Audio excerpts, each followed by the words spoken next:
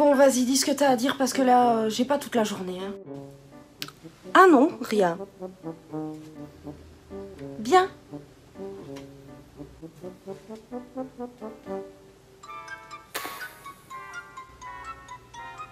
C'est juste que ton décor, bah voilà quoi. Mais quoi mon décor? Bah euh, c'est pas ça, je dis juste que se faire blaser Ninis Kirby alors qu'il y a visiblement pas un seul Kirby dans ton décor. Voilà quoi.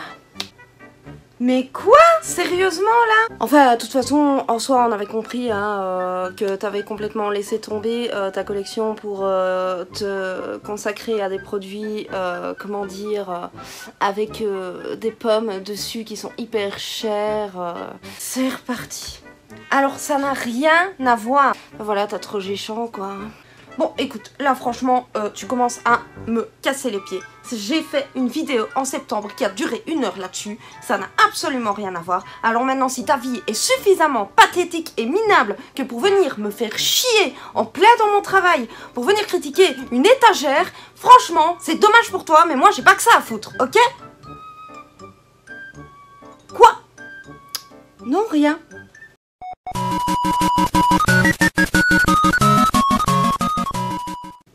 Alors, ce confinement, ça va? Et alors, euh, il était temps de refaire un petit bilan, hein. Je pensais pas le refaire parce que j'étais pas très chaud, comme je l'ai dit dans ma dernière vidéo, mais il est intéressant de revenir sur quelques points, hein, finalement. Donc, au début, euh, j'ai un peu euh, repris la peine de regarder mes derniers vlogs avant, enfin au début où toute cette merde a commencé, et je me suis rendu compte que je prenais pas ce truc-là au sérieux du tout. On ne sait pas comment ça va se passer à cause de- des nouvelles mesures prises pour euh, ce putain de coronavirus de merde et cette putain de paranoïa des genres de merde. Moi j'ai l'impression d'être euh, dans un film euh, du style 28 jours plus tard, c'est n'importe quoi. Et les trucs qu'on lit sur internet, c'est vraiment n'importe quoi. J'hallucine quoi, enfin c'est... Au secours. Je pense que demain c'est foutu, littéralement. Ça me fait chier, mais. Ferme ta gueule. Euh, je prenais pas ça au sérieux euh, pour un sou. Et euh, au fur et à mesure du temps, bah, tu dis quand même Ah ouais, c'est chaud quand même la situation, un petit peu. Il y a des gens qui meurent, il y a des gens qui tombent malades, et oh, de temps en temps autour de toi, euh, des gens sont frappés. Et là, tu vois les choses complètement différemment, laisse-moi te le dire. Et oui, alors, comment dire euh, Au début, si on regarde ma première vidéo sur mon bilan de confinement, on voit une personne qui a fait un travail d'introspection sur son développement personnel très profond, hein, qui remet les choses en question, euh, qui s'épanouit finalement. Tu te rends compte que c'est bien, c'est pas trop mal. Ouais, bon, ça a pas duré. Enfin, si, ça a quand même duré une trentaine de jours. Euh, nous sommes actuellement le 5 mai, donc le déconfinement a débuté. Pour combien de temps dois-je le programmer? C'est déjà programmé. Euh, donc, euh, ce le déconfinement a débuté, comment dire, hier, juste hier, mais je me considère toujours comme étant confinée parce que je n'ai encore absolument vu personne depuis plus d'un mois. Presque deux mois que je ne vois plus personne. Si, mes parents, je vais les aider, mais bon, disons qu'il y a des moments où, voilà,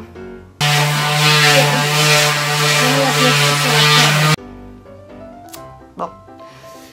Alors, euh, donc au début, euh, voilà, je, l'ai très bien pris, je l'ai très bien géré et j'en ai un peu pris mon parti parce que ça m'a un peu permis de me consacrer euh, à mes vidéos, à d'autres petites choses comme un petit peu de la guitare et un petit peu de ukulélé aussi. Ouais, ouais, on développe un petit peu ces petits talents cachés. Bon voilà, à l'époque je faisais du chant. Je sais pas danser, je bouge comme un boulet et t'as mal aux yeux. Même si je fais de mon mieux, c'est pas de ma faute si j'ai le style d'un retraité. Ouais, ouais, ouais. Assis dans un sueur, je bois un verre au bar. Soudain, le roi de la piste attire Et euh, j'avais fait un petit peu de guitare à l'époque, en autodidacte, hein, rien, de, rien de foufou. Donc voilà, je me suis dit, bah, vu que ça me manque quand même pas mal et que je me suis rendu compte que ça me manquait, c'est le moment de, voilà, d'en profiter. Profitons-en. On a que le temps là. C'est pas le temps qui nous manque. Pas du tout. Voilà. Euh, donc, comment vous dire que, euh, franchement, globalement, euh, je l'ai pas trop mal vécu et je suis pas des personnes les plus à plaindre. Euh, bien que les personnes de mon entourage qui ont chopé cette saloperie, je me serais bien passé de ça, hein, parce que c'est pas cool à gérer non plus, c'est pas cool du tout. Euh, mais ça permet aussi de te rendre compte que euh, c'est bien la merdasse, la bonne grosse merdasse des familles. Alors il faut savoir que ce confinement avait de base très mal débuté pour moi. On va pas se cacher, je pense que beaucoup d'entre vous l'ont compris. J'ai euh, actuellement, euh, depuis un mois, perdu euh, ma meilleure amie. Enfin, perdu, elle n'est pas morte, elle est toujours en vie. Mais on n'est plus potes, quoi. Voilà, c'est ça. On n'est plus potes. Donc, disons que commencer un confinement. Bon, c'est moi qui suis partie, hein, certes, mais il faut savoir que dans les relations, quand il y a rupture, que ce soit la personne qui part ou la personne qui s'est faite larguer comme un gros étron, il n'y en a aucune des deux qui le vit bien. hein. Euh, voilà, c'est comme ça, c'est euh, un truc, c'est une rupture dans ta vie de moments qui de base étaient bien. Et voilà, donc euh, bon, tu commences par ça, à ne plus avoir cette personne à qui tu te confiais, avec qui tu parlais beaucoup, avec qui, bon, ben voilà, cette personne qui t'aidait quand même à te sentir mieux dans certains moments, à un moment donné. Et tu te retrouves toute seule comme une grosse merde, parce que tu te retrouves avec un genre de vide à combler. Alors par chance, je me suis retrouvée euh, confinée chez mon copain, et je pense que quelque part, c'est ce qui m'a permis de vivre ça un petit peu mieux et un petit peu plus sereinement. Qu'il y a des détails, euh, enfin voilà, je ne vais pas rentrer dedans. Hein. Euh, je l'ai assez fait, je pense. Et euh, je pense que le message est passé, mais bon, ça a été le truc. Enfin, ça a mal débuté déjà avec ça, quoi. Enfin, je me serais bien passé de, de ça. Donc, ça a commencé comme ça. Trois potes en moins au total, c'est génial. Pas les moindres, évidemment, donc c'est encore mieux. la totale. hein. Écoutez, la totale, je ne sais plus quoi faire de cette blouse. Donc, euh, après, bah, j'en ai un peu pris mon parti. J'étais confinée chez mon copain, donc j'avais de la chance, hein, quelque part. Je me dis, euh, j'ai de la chance. En plus, euh, on a, comme qui dirait, les moyens de se commander à bouffer quand on a la flemme de cuisiner ou qu'on n'a pas spécialement envie d'aller faire les courses. Bah, le contexte, vous voyez, quoi. donc voilà, autant dire que, d'ailleurs, ça se voit. Oui, j'ai repris du poids. hein. évidemment, ça n'allait pas manquer, parce qu'évidemment, mon activité se résume à rester dans le canapé. Bon, au moins, je veux dire que mes fesses de Nicki Minaj, je, je les ai eues naturellement, quasiment. hein. Merci le confinement. Apparemment, il y a plein de femmes qui tueraient pour avoir ce genre de, postérieur. Franchement, je- j'en fais un don hein, qui, veut l'entendre. hein. Pas de souci. Euh, mais bon, voilà. Donc, euh, franchement, euh, ça se passait bien. Je suis entrée dans une addiction à Animal Crossing, donc voilà, ça se passait très bien. Je suis devenue un petit peu accro, un petit peu. Bon, après, ça s'est calmé parce que, voilà, j'avais d'autres préoccupations. Et euh, bon, à un moment donné, ce qu'il y a, c'est que ça traîne, ça traîne. euh, le Conseil national de sécurité, nanani, nanana. Nous, on attend désespérément des nouvelles euh, concernant nos études, en fait. Parce que ça, c'est le, gros poids. Quid de mes stages? Quid de mon diplôme? Et on parlait aussi de l'hypothèse de nous prolonger en septembre. Alors comment vous dire que j'étais en mode c'est hors de question, sa mère. C'est hors de question. Donc, euh, bah voilà, j'étais pas très. Pas très, très. Très à l'aise avec euh, ce qui allait éventuellement se passer. hein. Donc, on est resté plusieurs semaines euh, sans nouvelles. On en a eu, hein, enfin, finalement, euh, très récemment, la semaine passée, il me semble. Oui, on devait avoir des nouvelles pour le 27 avril, donc c'était la semaine passée. Et il s'avère qu'on doit rendre un travail, ce qui me rassure pas mal. Mais d'un autre côté, je suis ultra stressée parce que je le fais visionner par tout le monde, également euh, des maîtres de stage que j'ai eu pour être sûre que ça soit parfait. Et euh, bah en fait, elle me renvoie le truc de façon positive. Sauf que Ninis, elle, elle se dit non, c'est trop parfait. Donc elle se stresse quand même. Voilà, donc je vais être une boule de nerfs concernant mes études jusqu'à fin juin, euh, début juillet. Euh, et être sûr d'avoir ce diplôme en espérant qu'on ne me la fasse pas à l'envers. hein, parce que, évidemment, Ninis, elle psychote hein, aussi, hein, c'est bien ça. voilà, bon, euh, donc ça, c'est déjà euh, mis euh, bien derrière. Mais il faut savoir que je suis une personne qui vit ses sentiments et ses émotions pleinement. Et bon, après 6 mois de kinésiologie et de travail sur moi, je dois dire que ça m'a aidé à pas péter les plombs tout de suite. Mais à un moment donné, ça commence à se faire sentir que ça fait 2-3 mois que je n'ai plus été à une seule séance, bien que j'ai pu garder contact heureusement, qu'il y a Internet et tous ces supports permettant d'être en communication avec les gens, parce qu'on deviendrait complètement cinglé. Donc voilà, euh, presque euh, deux mois au moins euh, sans séance, comment dire, que au début ça se passait très bien parce que j'avais déjà commencé à faire un travail sur moi euh, quand même énorme, même si on n'avance pas à pas, j'estime que ce que j'ai fait jusqu'à maintenant, c'était énorme. Euh, donc, euh, baby step, hein, donc tout va bien au début parce que t'as appris à relativiser, t'as appris à positiver, à voir les choses un peu plus, de façon un peu plus colorée, on va dire ça comme ça. Donc ça va, au début ça va, mais après, le pétage de plomb. Alors, il y a des jours où je me retrouvais en mode Nini se fait la teuf, T'aimes brûler au vent des landes de pierre autour des lacs. C'est pour les vies. c'était génial. Et puis il y a des moments où j'avais une baisse de morale pas possible, mais littéralement en mode on sortira jamais de ce confinement. Hello, darkness, my old friend. I've come to talk with you again. Because a vision softly creeping left its seeds while I was sleeping. Il faut savoir que je suis une personne, comment dire, très phobique de tout ce qui est euh, maladie, mort, tout ça, tout ça. Donc euh, comment dire que euh, à ce niveau-là, ça n'aide pas mes problèmes d'anxiété. Que j'étais arrivée à gérer finalement très bien, hein, parce que je suis une personne très anxieuse. J'ai eu énormément de tendance à la dépression dans ma vie. Donc j'estime que j'ai pas trop mal géré le truc.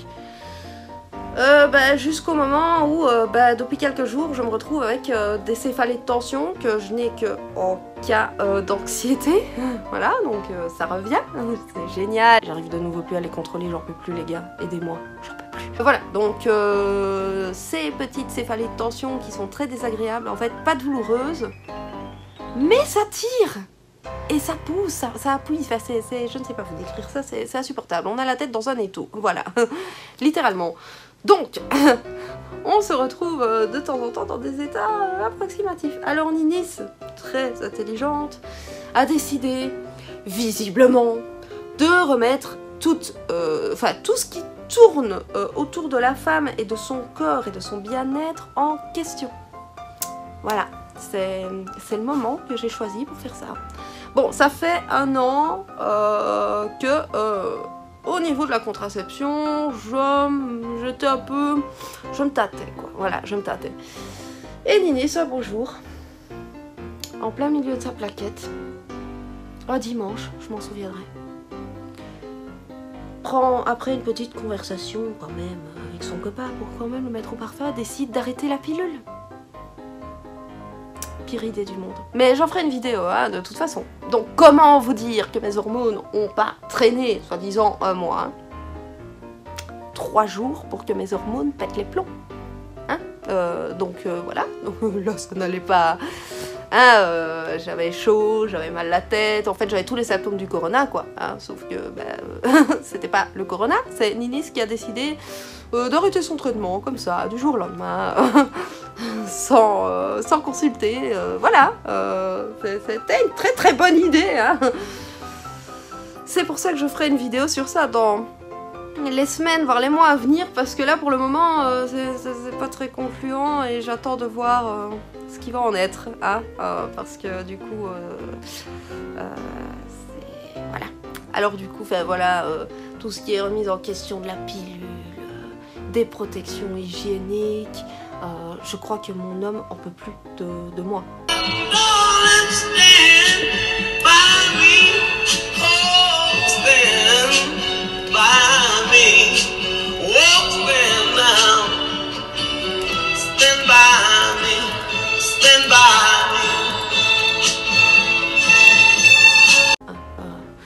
Euh, nos dernières conversations, euh, c'était quand même sur euh, la contraception. Bon, ça, c'est quand même important. Euh, Jusqu'au moment où euh, je lui ai envoyé quand même des liens. Tiens, tu penses pas que on pourrait euh, envisager un investissement futur? Accrochez-vous. Dans des culottes de règles. Yeah Bon, déjà, le gars, il voit le prix. il est. Mon dieu, qu'est-ce que c'est que ça? Donc t'essayes d'expliquer, ouais, mais c'est plus écologique et sur le long terme, ouais, ça coûte cher, mais voilà, sur le long terme, euh, le nombre de protections hygiéniques jetables, euh, comment dire, nocives pour la nature, n'est-ce pas un bon investissement? Enfin voilà, euh, bon, tout, ce délire-là, je, pense qu'il n'en peut plus, enfin, il n'en peut plus de moi, hein, il n'en peut plus de moi. Voilà. Déjà, t'as une meuf qui passe d'une émotion super high, et puis quelques secondes après, elle est... euh, voilà. du coup, euh, bon, ça, la remise en question... euh, Oui, du no-bras. Qu'est-ce que le no-bras On va faire un petit schéma. On porte pas déroge au soutien-gorge. En quelque sorte, c'est ça. Donc bon, ça c'est le moins euh, problématique. hein. Euh, Il y a eu énormément de sujets là- de- là-dessus, hein, énormément de youtubeuses qui ont parlé de tous ces sujets euh, dont je suis en train de vous parler ici. Et pour elle, ça se passe très bien. Il y a que chez moi que ça part en couille. Voilà. Donc voilà, disons que le no bras, c'est le moins désagréable dans l'histoire. hein. On est confiné de toute façon, euh, on passe notre vie en pyjama. Là, je me suis habillée et maquillée et lavé les cheveux juste pour la vidéo, hein, parce que la plupart du temps, je suis derrière, sur le canapé, tel un poulpe avec les cheveux gras et une tronche euh, approximative à regarder euh, des conneries. hein. Ou alors, en ce moment, je travaille quand même sur, sur mon travail pour l'école, mais qui est pratiquement bouclé. voilà, donc je m'octroie quelques petites activités. Euh, bon, j'ai euh, ramené une guitare et acheté un ukulélé. Il serait peut-être temps que j'investisse un peu dedans. Hmm, un peu plus. Ce serait bien. Un peu plus. Un petit peu plus. voilà, un petit peu plus. Bon, bah disons que niveau euh, émotionnel, c'est un peu le bordel en ce moment. hein. C'est un peu, c'est un peu le bordel. On va pas, on va pas se on va pas se mentir et se la jouer. euh, ouais, mais non, faut être positif. Voyons ce qu'on peut faire pour l'avenir et euh, ce qu'on pourrait réinventer comme, euh, comme moi et ce qu'on pourrait faire de mieux pour après. À un moment donné, t'as juste envie de voir des gens, de te poser sur une terrasse et de te siroter le truc le plus alcoolisé du monde. Ok Enfin, bon, euh, l'alcool est dangereux pour la santé, il faut pas abuser, machin. Je voudrais pas avoir des problèmes, hein, d'accord? Enfin, voilà, c'est... Non À un moment donné, t'en as plein le cul. Euh, là, je suis arrivée à un stade du... J'en ai marre, hein euh, J'aimerais juste pouvoir voir une personne, une personne, je sais déjà qui, je verrai, je sais déjà qui, je privilégierai... vi- Privilégie... pri- Bref, vous avez compris, je sais déjà qui sera en priorité numéro une, voilà. Euh, mais au moins pouvoir voir une personne, quoi. Alors oui, ici en Belgique, ça sera peut-être à partir du 18 mai. Mais je sais pas pourquoi. La dernière nouvelle qui m'a un peu euh, ratatinée, euh, j'étais sur mon bureau, puis il y avait mon copain sur son bureau, on était tous les deux sur nos ordinateurs respectifs. Lui sur son Windows, moi sur mon Apple, parce que je suis tellement une bourge. Voilà, bref, euh, et euh, j'ai facilement euh, visu sur, son ordi, pas que je le surveille, mais c'est juste que l'emplacement fait que je vois facilement. Et Doudi esquisse un petit, petit rire étouffé, voilà. Et là, ça attire mon attention sur un article qui est le reconfinement, voilà comment ça va se passer. Cet article a été posté qu'on n'était même pas encore en phase de déconfinement. Je me dis mais c'est pas possible, c'est pas... Bon, attention, je m'y attendais, hein. pour moi on n'est pas sorti de l'auberge, hein. on était parti pour être confiné 8 mois. Mais j'aurais préféré qu'on me dise directement t'es confiné 8 mois. J'en aurais pris mon parti. Voilà, j'aurais planifié sur le long terme des façons de me distraire. C'est pas compliqué de me distraire en plus. euh, tout me distrait. Voilà. D'ailleurs, je sais pas si vous êtes aussi distrait que moi, mais si vous êtes aussi distrait que moi, vous avez remarqué que j'ai rajouté des Kirby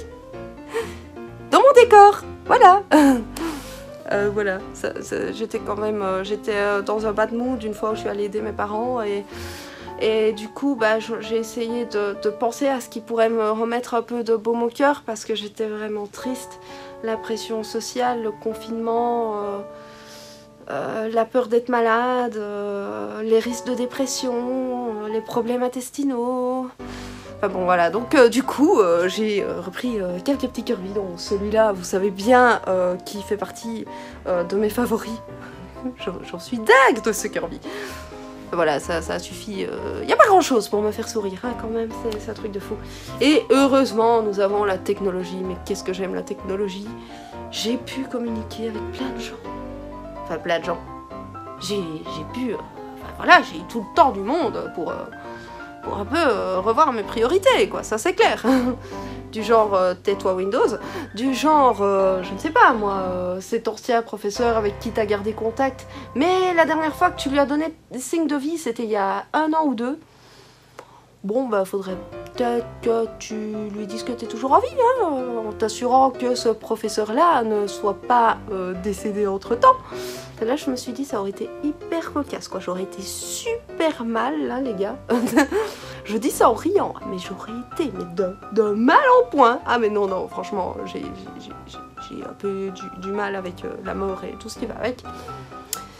Mais enfin voilà, c'est, on va dire, c'est la vie, hein. Qu'est-ce que vous voulez faire? Là, on est euh, face à un truc euh, qui est, qui n'a aucune volonté, hein. Euh, c'est, même pas en temps de guerre où il y a des gens qui sont derrière ça et qui pourraient se dire, bon les gars, faire la guerre c'est mal, on pourrait peut-être penser à s'arrêter, hein. Ouais, voilà. Déjà que ça n'arrive pas, hein. Il y a des pays qui sont en guerre depuis. depuis. J'ai pas de cahier d'histoire devant moi. Je peux pas donner des chiffres comme ça. Je vais avoir l'air con. J'ai l'air con, mais voilà. Euh, donc. euh, du coup, bah, on se retrouve un peu. euh, face à un truc qui n'a zéro volonté. Il va pas se dire. Bon, allez les gars, je les ai assez fait chier comme ça, je pense qu'ils ont compris. Ils ont un peu compris qu'ils ont pris les choses trop pour acquis. Ah oui, ça j'adore. Sur Facebook, les choses qui circulent. Alors, entre les théories du complot, s'il vous plaît, arrêtez avec ça. Les théories du complot. Ouais, j'en peux plus. J'en peux plus. Il faut pas me montrer des choses comme ça, ça me rend malade. Ou alors, les gens, oui, mais regarde, depuis 2003, ils savent. Putain, Covid-19. 19 pas 19 pour rien les gars hein?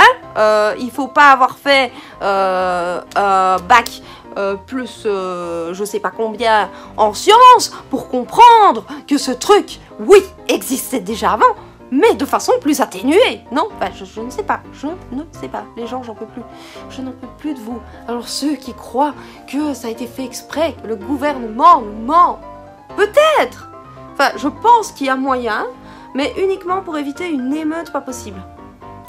Parce que, je sais pas si vous avez remarqué, mais euh, le PQ, ou dès qu'on ouvre euh, Drive-In, euh, c'est le bordel. Alors, euh, imaginez un peu les gens si on leur dit absolument tout.